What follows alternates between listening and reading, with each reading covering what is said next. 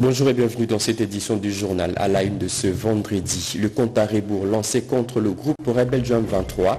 Ce plus que moins de 4 heures pour faire taire les armes dans la partie est de la RDC. L'ultimatum leur lancé par le chef d'État de la communauté d'Afrique et de l'Est expire déjà aujourd'hui à 18h. Nous allons revenir dans ces journaux sur les grandes décisions prises au terme du mini-sommet de Luanda. Le détail dans un instant. Également au sommaire, c'est déjà demain samedi que l'on connaîtra la date exacte de la tenue de l'élection présidentielle et législative en RDC. La CENI va rendre public le calendrier électoral. L'annonce a été faite au cours euh, des échanges entre la CENI et la société civile. Reportage à suivre dans ce journal. Et enfin, face au flou persistant sur le nombre exact de élèves en RDC, depuis plusieurs décennies, le gouvernement congolais veut cette fois-ci faire sauter les plafonds de verre. Le ministère de l'enseignement primaire, secondaire et technique vient de lancer l'opération d'identification de chaque élève à partir des numéros. Voilà tout pour les sommaires. Mesdames et messieurs, encore une fois, bienvenue à vous si vous nous rejoignez à la radio-télévision nationale congolaise. Je le dis en titre, le compte à rebours lancé contre le groupe rebelle du M23. Ces rebelles n'ont plus que moins de 4 heures pour faire taire les armes dans la partie est de l'RDC. L'ultimatum leur lancé par le chef d'État de la communauté d'Afrique de l'Est expire déjà aujourd'hui à 18h. Nous revenons dans ce journal sur les grandes décisions prises au terme du mini-sommet des Luanda tenu dernièrement en Angola. Jusqu'à Koussema pour plus de précision. En invitant à Luanda tous les chefs d'État concernés et engagés dans les processus de Nairobi et celui de Luanda, le président Joël Lourenço avait pour objectif d'obtenir des engagements fermes pour une cessation des hostilités et envisager un canevas pour la suite des deux processus. Au terme des six heures de discussion à huis clos, le président Joël Lourenço, initiateur du mini-sommet de Luanda, Évariste Ndaeshimiye, président du Burundi et président en exercice de la communauté de l'Afrique de l'Est, les présidents Félix-Antoine Tshisekedi Chilombo de la République démocratique du Congo, M. Vincent Biruta, ministre des Relations extérieures du Rwanda, représentant son président absent, et Uhuru Kenyatta, ancien président du Kenya et facilitateur désigné de l'EAC, ont signé un communiqué final contenant 15 grandes décisions dont la principale est la cessation des hostilités par le M23. O principal objetivo da mini-cimeira de Luanda L'objectif principal du mini-sommet de Luanda était d'établir le calendrier de mise en œuvre des actions prioritaires en vue, d'une part, de la cessation des hostilités et du retrait immédiat du M23 des localités congolaises occupées et d'autre part, de la coordination des processus de Luanda et de Nairobi. de Luanda e de Nairobi. A mini-cimeira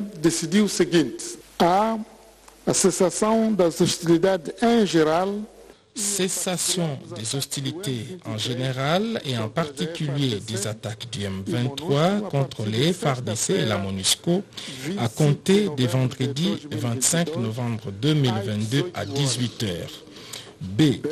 Respect absolu du prescrit des communiqués des conclaves des chefs d'État de la communauté de l'Afrique de l'Est des Nairobi du 21 avril et du 20 juin 2022 pour le processus de paix de Nairobi, de la feuille de route de Luanda du 7 juillet 2022 pour le processus de Luanda et des conclusions de la réunion extraordinaire des chefs d'état-major généraux des forces armées de l'EAC, Bujumbura, le 8 novembre 2022.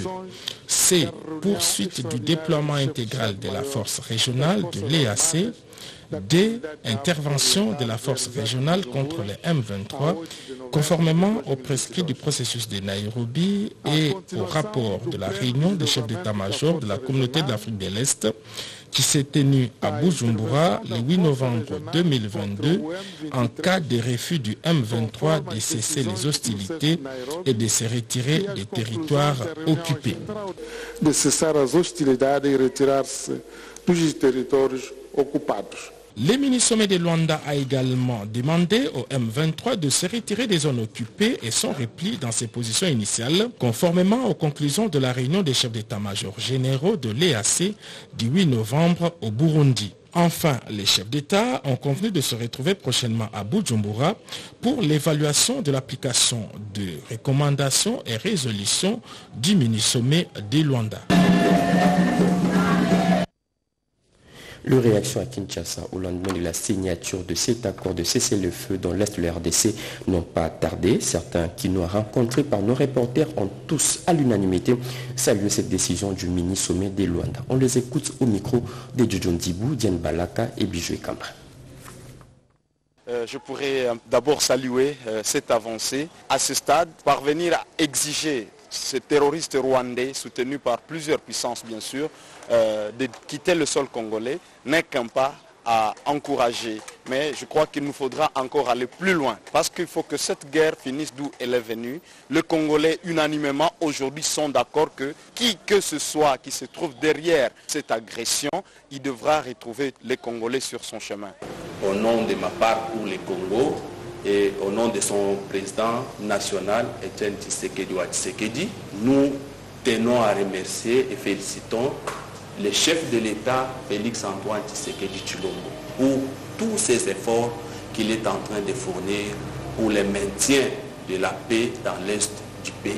Il a demandé aux rebelles du 23 et les gens qui les soutiennent de quitter le pays. Vous-même, vous avez suivi, les troupes sont en train de se vider dans nos milliers.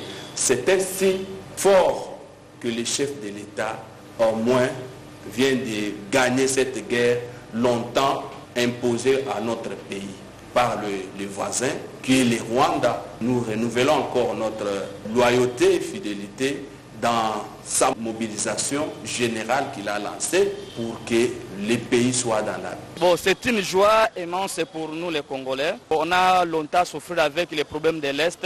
Je représente déjà la réussite de notre chef de l'État. Ça presque 20, sur ces 25 ans, nous sommes toujours en train d'être maltraités par nos frères euh, rwandais. Que ce soit une fois pour toutes, ça se termine. Oui, nous saluons par son résultat des mini-sommets de Rwanda. Et premièrement, nous tenons à féliciter le chef de l'État, son Excellence Félix Antoine Tshisekedi Lombo, qui se démène jour et nuit pour euh, même euh, tous les dangers et se misera à plusieurs obstacles dans l'élan patriotique l'anime et le courage exceptionnel pour euh, ramener la paix et la sécurité de notre pays, surtout pour défendre euh, l'intégrité territoriale, l'indépendance et euh, la souveraineté de notre pays, la RDC. Nous saluons et prenons acte des avancées qui viennent de ce sommet-là, et notamment euh, les retraits immédiats des groupes armés terroristes de M23 qui ont investi pratiquement tous les territoires de Rutshuru.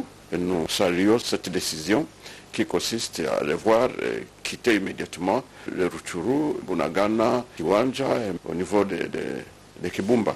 La République démocratique du Congo a accepté de se lancer sur une voie pour la résorption totale de cette crise d'insécurité qui dure depuis des décennies. Nous sommes en train de chercher des solutions durables. Dans la recherche de ces solutions, nous avons l'option militaire et l'option diplomatique. Et euh, parler du mini-sommet euh, de Luanda, c'est effectivement évoquer l'option diplomatique dans la résolution de, ces problèmes. Et il y a eu un souci dès le départ euh, pour le, le compte de la RDC de vouloir impliquer tous les pays de la sous-région. Parce que c'est un problème qui perdure depuis assez longtemps et face auquel nous avons les, différents États et même la communauté internationale a souvent fait l'autruche. Donc il était important de responsabiliser tout le monde et que même à l'issue par exemple de ces mini-sommets, euh, chacun ait une part des responsabilités, en tout cas assurée par rapport à la résolution de ces problèmes de manière durable. Le M23 doit cesser ses attaques. Ces groupes rebelles doivent se retirer sans aucune condition des localités congolaises. Le Rwanda doit cesser tout soutien M23. Ce sont là les trois points parmi tant d'autres contenus dans l'accord de cesser le feu signé dernièrement à Rwanda. Lors de leurs échanges avec la presse, le vice-premier ministre, ministre des Affaires étrangères et le porte-parole du gouvernement sont revenus en détail sur les contenus de cet accord. Gaïta Magal. Face au patron de médias venu dans ce briefing presse sur les résolutions du mini-sommet de Luanda, le vice-premier ministre des Affaires étrangères aux côtés du porte-parole du gouvernement a dressé le tableau de cette réunion cruciale qui a débouché sur un consensus. 1. Que le M23 cesse ses attaques contre les positions des FARDC et de la MONUSCO. 2 qu'il se retire des localités occupées. Trois, que le Rwanda cesse tout soutien dans le 23. Quatre, que les Congolais qui ont été déplacés de force de leur domicile reviennent à ces derniers. Christophe Lutundula a par ailleurs rappelé le particularité de cette réunion décisive. C'est la première fois que les deux médiations, que les deux processus se rejoignent et qu'on dégage une perspective commune en termes de ce qu'il faut faire. Dans son argumentaire, le ministre de la Communication et Médias a salué les avancées diplomatiques significatives, notamment la position du gouvernement américain et le Parlement européen qui ont appelé le Rwanda à cesser de soutenir le terroriste 123. Qu'est-ce que ça signifie concrètement? Je ne suis pas militaire, mais je crois on vous met dans un camp, il y a des personnes qui sont habilitées qui viennent, on vous désarme, on vous identifie. Comme le Rwanda sait qu'il a ces éléments là-bas et que ces éléments ne peuvent en aucun cas rester là, ils vont repartir. Le vice-premier ministre en charge des affaires étrangères a réaffirmé la position du gouvernement RD congolais de ne pas prendre part à un quelconque dialogue avec le terroriste 123 parrainé par le Rwanda. Vous n'allez pas déplacer de la Guinée, vous n'allez pas déplacer Gizeli, Goma. On n'a plus besoin de chefs d'État conquérants. Merci. Sécurité toujours, restons vigilants. C'est le maître mot recommandé par le Premier ministre à tous les Congolais face à l'agression rwandaise, Jean-Michel Samaloukonde, qui présidait la réunion d'évaluation de la situation sécuritaire dans les zones confrontées aux conflits armés, a aussi promis de tout mettre en œuvre pour assister en urgence les 3000 compatriotes déplacés du Nord Kivu. C'est un reportage de Patito Ndouango, Julien Piana et bienvenue le Salah. La situation sécuritaire et humanitaire dans les zones confrontées aux conflits armés, une préoccupation pour le chef de l'État Félix-Antoine Tshisekedi Chilombo. Sur son instruction, le Premier ministre Jean-Michel Samalokonde Kienge a réuni quelques ministres sectoriels, les autorités de la police nationale congolaise comme de l'armée, ainsi que les services connexes pour une évaluation. Pour le ministre Patrick Mouyaya de la communication immédiate porte-parole du gouvernement, plus de 300 000 Congolais vivent dans des conditions difficiles, d'où il faut agir en urgence pour répondre à leurs besoins. Euh, C'est dans la suite, comme vous, le savez, depuis euh, plusieurs jours, le Premier ministre a reçu euh, l'habilitation du commandant suprême de tenir de réunions de sécurité pour faire le suivi de manière régulière de la situation sur le terrain. Vous savez que nous avons des urgences humanitaires importantes sur lesquelles nous devons travailler parce que nous avons plus de 300 compatriotes qui sont dans des conditions extrêmement difficiles. Il, il s'est agi donc d'aborder ces questions humanitaires. La réunion sécuritaire a également suivi les rapports du vice-premier ministre et ministre des Affaires étrangères, Christophe Lutundula, qui a pris part au mini-sommet de Luanda sur les cessez-les-feux exigés au M23. Vous avez tous suivi les communiqués avec des engagements fermes et un calendrier assorti pour permettre de donner une vue à l'issue euh, de toute cette situation qui est à l'est de la République démocratique du Congo. Et bien évidemment, les, les, les chefs de l'armée et de la police ont pu faire le point de la situation sur terrain. On n'a pas seulement parlé de la situation à l'Est, mais on a aussi survolé la question de Kwamou parce qu'il est important que nous puissions avoir un regard sur toutes ces situations. Le maître mot qui a été recommandé ce soir par le Premier ministre au-delà de tout ce qui a été dit, des engagements qui ont été couchés dans les communiqués sortis d'hier, c'est que nous devons rester vigilants. Il y a des délais qui ont été donnés. Nous allons attendre, voir ce que ça va donner, mais nous allons surtout continuer à travailler pour apporter un appui humanitaire à nos compatriotes qui en ont besoin. La vigilance reste les maîtres mots recommandés par les chefs du gouvernement face aux engagements pris à la rencontre de Luanda en Angola. À quand la tenue des élections présidentielles et législatives en RDC Le suspense sera levé déjà demain. Samedi, la CENI va rendre public le calendrier électoral. L'annonce a été faite au cours d'un échange entre la CENI et la société civile. C'est un reportage de Geresto Funge et Teti Samba. Accompagné de quelques membres de son équipe, le président de la Commission électorale nationale indépendante, Denis Kadima Kazadi, a confirmé à la société civile ce jeudi 24 novembre le début dans quelques semaines de l'opération d'actualisation du fichier électoral. C'était au cours d'un cadre de concertation CENI-société civile au Palais du Peuple. Une occasion pour Denis Kadima Kazadi d'inviter la société civile à mobiliser la population car son institution compte en près de 50 millions de Congolais. Le numéro 1 de la centrale électorale a en outre explicité l'objectif à atteindre après cette importante opération. La durée de l'opération d'identification et d'enrôlement des électeurs est de 30 jours par aire opérationnelle. Il est important donc que vous puissiez mobiliser vos membres et vos activistes, mais aussi la population tout entière à s'y hâter et ne pas attendre les derniers jours.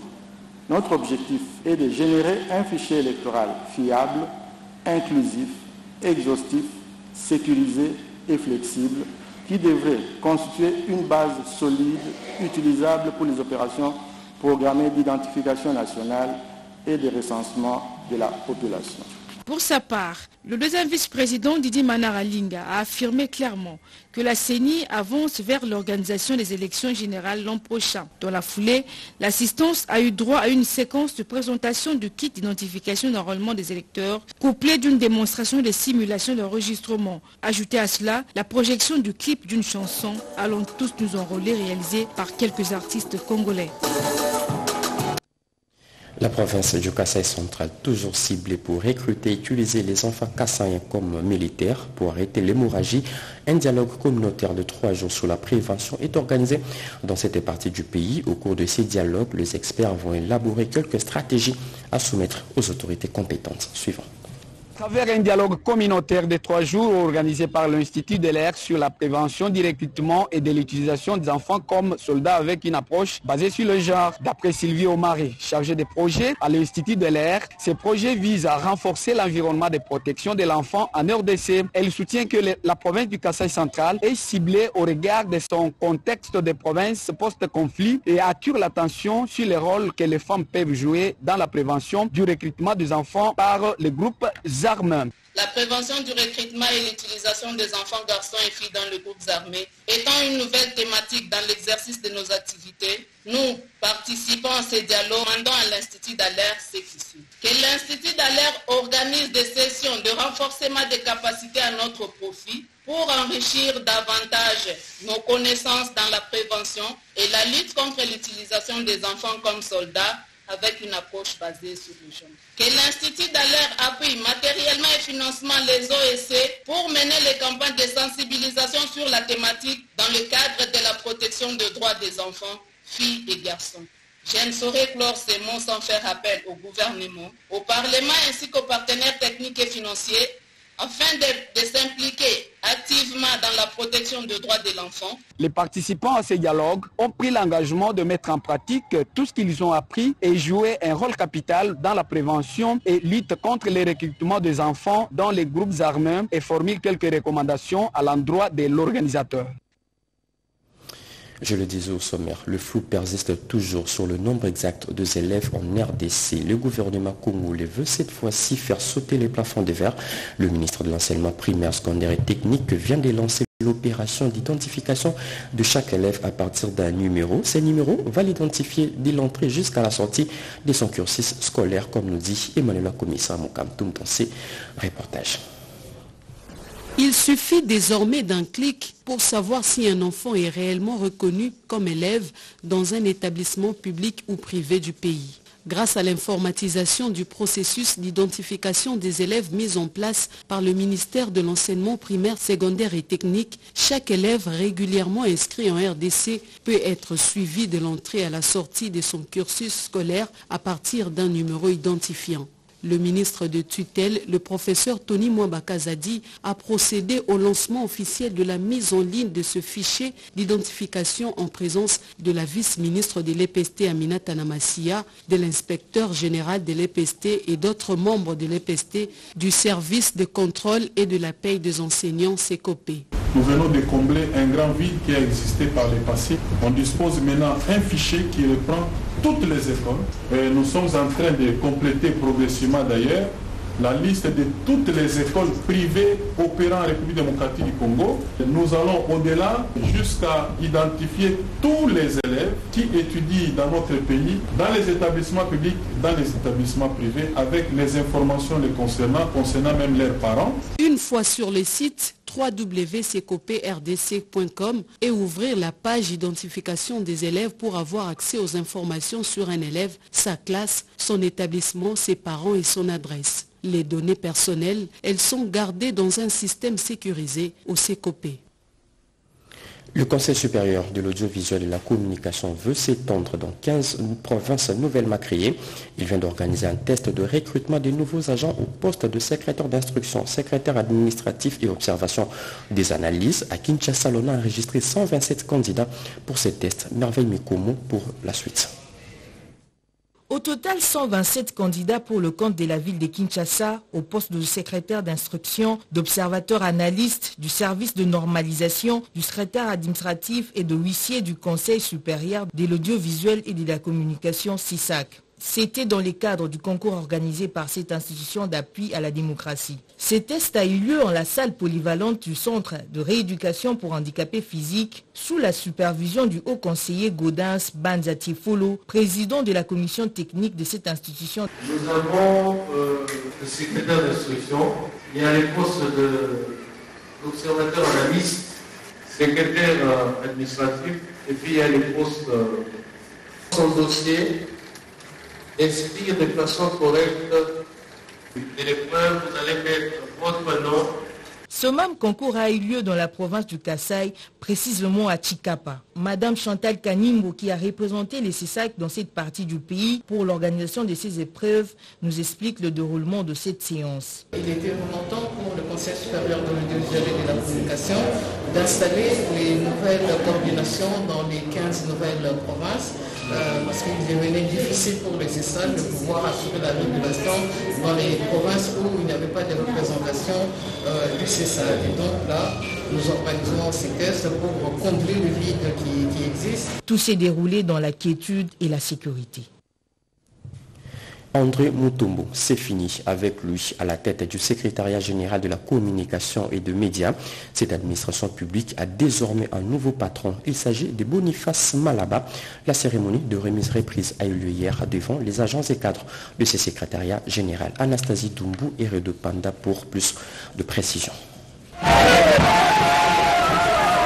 À la faveur de nouvelles nominations opérées au plus haut sommet de l'administration publique à travers les secrétariats généraux de la fonction publique, au secrétariat général du ministère de la Communication et des médias, Boniface Malaba Mouniaji vient remplacer Moutombo Pamba André après une longue carrière de service rendu. La cérémonie de remise reprise a eu lieu le mercredi 23 novembre 2022 sous la supervision de l'inspecteur général principal à la fonction publique assisté de son adjoint. Lecture de procès-verbaux suivi de la signature par les deux concernés le secrétaire général sortant, André Moutombo Mbamba, en a profité pour féliciter son successeur pour son élévation tout en lui souhaitant plein succès dans cette nouvelle et dernière étape dans l'administration publique. Et ce, dans le respect des directives du ministère de la fonction publique et la vision du chef de l'État Félix-Antoine Tshisekedi Chilombo. De cette manière que l'on pourra améliorer les conditions de travail, Boniface Moulaba Mouniaji, nouveau patron au secrétariat général des communications et des médias, a remercié à son tour les sortants pour les encouragements lui adressés et l'a rassuré d'appliquer ses conseils pour travailler dans les normes afin de répondre aux besoins d'un travail de qualité à la satisfaction des Congolais. Comment dépénaliser tout avortement sécurisé en RDC comme le veut le protocole de Maputo dont la RDC est signataire Eh bien, les experts de la santé sont en atelier dans la province du Maniema pour réfléchir sur la question. Yvette Mapuntima. Le protocole de Maputo a été au centre d'une table ronde tenue à Kindu, chef-lieu de la province du Maniema. Cette messe a réuni plusieurs acteurs étatiques et non étatiques. Pour les organisateurs, l'avortement sécurisé est un droit de toute femme et ne doit pas être considéré comme une infraction punie par la loi. Un avortement procuré en marge des conditions fixées par Maputo ou en dehors des, des structures agréées sera considéré comme un avortement criminel et puni comme par, par le passé. Ces assises visent l'appropriation par tous les acteurs du protocole des Maputo ratifié par la République démocratique du Congo. Selon Dr Mike Mpoy, directeur des programmes de l'AIPAS, l'avortement est la deuxième cause de mortalité maternelle en RDC et l'on doit dépénaliser. Quand on criminalise que ce qui survient à la femme, c'est comme si on criminalise le fait d'être femme. Et donc c'est pour ça que nous nous militons et nous faisons un plaidoyer euh, auprès des parties prenantes gouvernementales mais aussi euh, législatifs pour que l'avortement puisse être retiré du code pénal. Pour sa part, Roger Ndewe, premier président de la Cour d'appel du Maniema, l'un des participants à ces assises, le protocole de Maputo vient de renforcer l'arsenal juridique congolais. Il s'en réjouit de cette innovation, mais met en garde des structures sans qualification qui continueraient à faire des avortements clandestins. Un immeuble moderne sortira bientôt des terres au poste frontalier des Rouzizi 2. Nous sommes là dans la province du Sud Kivu. Les travaux de construction de cette bâtisse qui va abriter tous les services opérants dans ces postes frontaliers viennent d'être lancés à la grande satisfaction de la population. Anastasie Doumbou. Les travaux de modernisation du poste frontalier Rouzizi 2 du côté congolais lancés avec l'appui de l'Union européenne. C'est là dans le cadre de la vision du chef de l'État Félix-Antoine Tshisekedi Chulombo, celle des infrastructures frontalières à travers l'accord signé entre le gouvernement congolais et certains partenaires. Ce macro-projet intégrateur consiste à construire un immeuble moderne qui abritera tous les services opérants au poste frontalier, dont l'OCC, DGDA, 2GM, service de quarantaine animale et végétale, ainsi que la construction d'un entrepôt public. L'objectif est d'améliorer le commerce transfrontalier. Notre collaboration avec le gouvernement du Sud Kivu a été celle d'une équipe unie d'un processus d'appropriation positive des résultats du projet de la part des autorités provinciales. Et nous espérons que cela puisse devenir un outil de développement accéléré et inclusif pour la population du Sud Kivu et de la République démocratique du Congo. Euh, le projet, comme vous le savez, a connu beaucoup de défis depuis son insertion. Euh, ces défis sont dus, par exemple, à un environnement plus ou moins difficile à cause de l'environnement sanitaire du Covid-19, comme la fermeture des frontières, réduction des échanges commerciaux.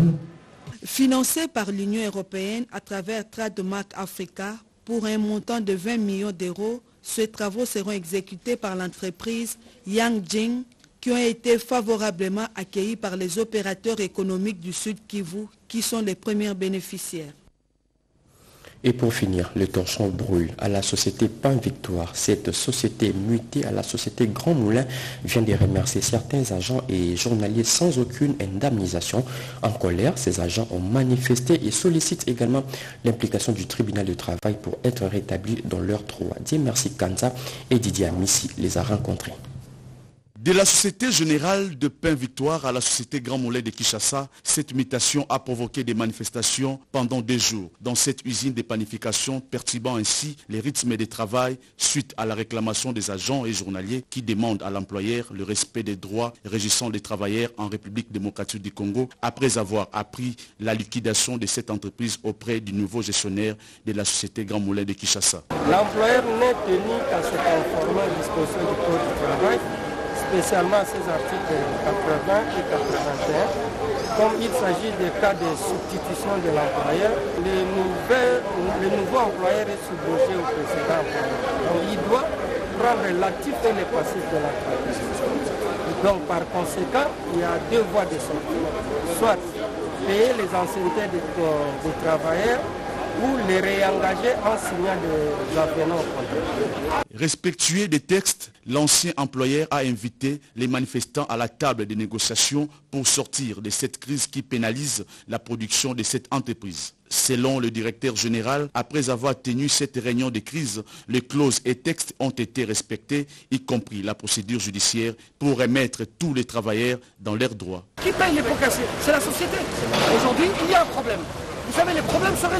Cette séance de travail a mis autour d'une table l'ancien employeur, les inspecteurs du ministère du Travail, les honorables députés nationaux et provinciaux qui ont demandé aux agents et journaliers de reprendre le travail car les négociations se poursuivent afin de payer les décomptes finales de ceux qui désirent quitter, mais aussi d'établir sur le sort de ceux qui vont continuer à prester avec les nouvelles employeurs. Mesdames et messieurs, c'est la fin de ce journal. Mais avant de nous quitter, voici le rappel de titre. Les comptes à rebours lancés contre le groupe rebelle Jean 23. Ces rebelles n'ont plus que moins de 4 heures pour faire taire les armes dans la partie est de l'RBC. L'ultimatum leur lancé par le chef d'État de la communauté d'Afrique de l'Est expire déjà aujourd'hui à 18h. Nous, avons diffusé dans ce journal les images du dernier sommet des Luanda. Également, au sommet, également dans ce journal, nous vous avons proposé que c'est déjà samedi et que l'on connaîtra la date exacte de la tenue de l'élection présidentielle et législative en RDC. La CENI va rendre public le calendrier électoral. L'annonce a été faite au cours des échanges entre la CENI et la société civile. Et enfin, face au flou persistant sur le nombre exact des élèves en RDC depuis plusieurs décennies, le gouvernement Koumou le veut cette fois-ci faire sauter les plafonds de verre. Le ministère de l'enseignement primaire, secondaire et technique vient de lancer l'opération d'identification de chaque élève à partir d'un numéro. Les images ont été également diffusées dans ce journal. Mesdames et messieurs, merci de nous avoir suivis. L'actualité continue sur nos antennes. Retrouvez à 22h Serge Merlemata pour d'autres sujets d'actualité. Au revoir.